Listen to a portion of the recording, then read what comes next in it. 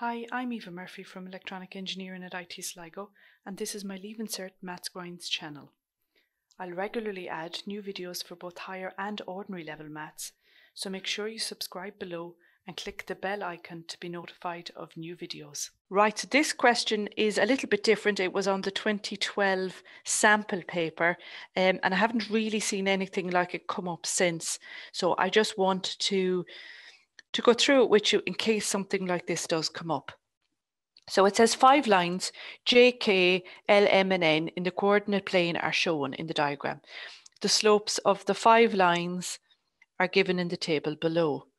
Complete the table matching the lines to the slopes. Now I could really see how a question like this could um, could flummox someone in that there's no values on the x or y axis.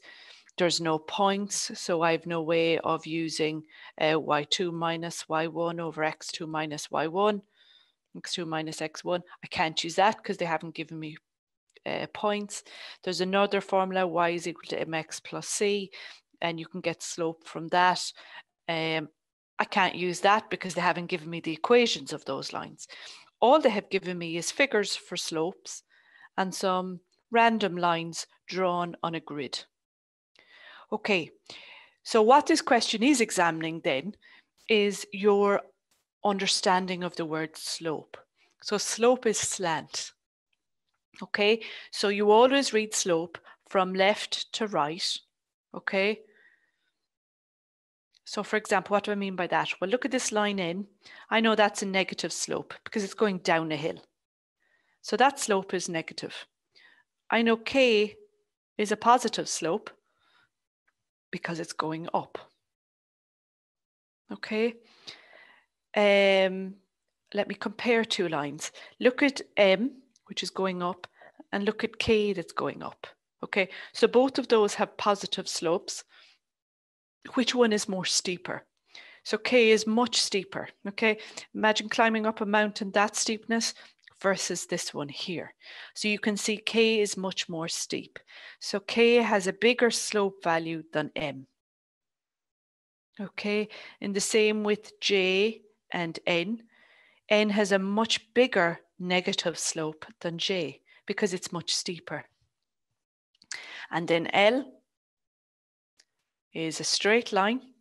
It has no slope, no slant, so that has a slope of zero.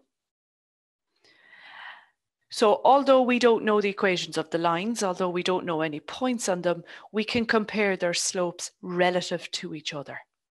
Okay, so when I look down here now, I see a slope of zero. Well, there's only one of those lines that's flat with a slope of zero, and that's L.